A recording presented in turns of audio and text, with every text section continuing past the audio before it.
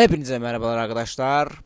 Bugün Football Manager Real Time Editor 17.3.1 güncellemesinin kurulumunu gösteriyorum. Hemen indirdiğiniz RAR'daki setup'ı çalıştırıyorsunuz. Ben direkt kuracağım. Şu şekilde arkadaşlar.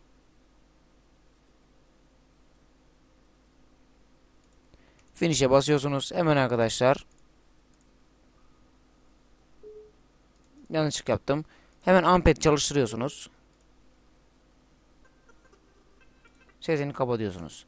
Sonra arkadaşlar hemen bilgisayarım nereye kurduysanız oradan şu dosyayı kripto dosyasını siliyorsunuz ve Football Manager Real Time editörü çalıştırıyorsunuz. Bakın Amped çalışıyor. Bunları kapatabilirsiniz. Bunu açtıktan sonra arkadaşlar hemen orijinal indirmiş olduğunuz dosyadan hemen kripto dosyasını kopyalıyorsunuz ve orijinal klasörü atıyorsunuz. Attıktan sonra Football Manager Real Time Editor'e girip Settings deyip buradan isterseniz dili seçebilirsiniz. Direkt aktive et diyorsunuz. Online olanı seçiyorsunuz. Ve arkadaşlar başlayalım hemen. FMT yazın mesela. Mesela arkadaşlar 17 bir harf atıyorum.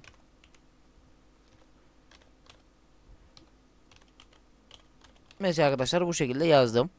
Next'e basıyorum. Ve görmüş olduğunuz gibi lisans tamamlandı. Şimdi arkadaşlar buradan finish'e basıyorum ve çıkıyorum. Bunu sağ tıklayıp özellikler ve sağ dokunur yapıyorum arkadaşlar. Uygula. Tamam. Arkadaşlar işimiz bitti. Şimdi Amped'de kapatıyorum. Bakın çalıştırıyorum tekrar Football Manager Ryan Time editörü.